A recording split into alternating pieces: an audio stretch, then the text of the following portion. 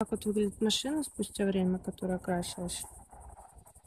Сейчас мы посмотрим, сколько будет показывать толщиномер микрон.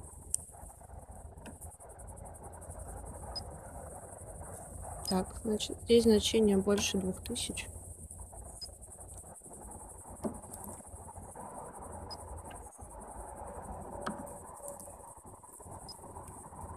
Триста семьдесят девять.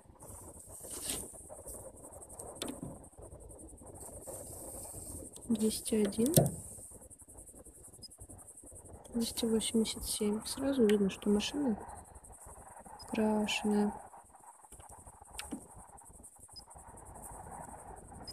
больше двух тысяч. Тысяча двести двадцать.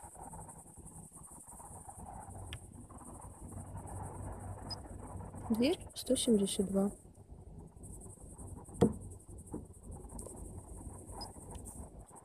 139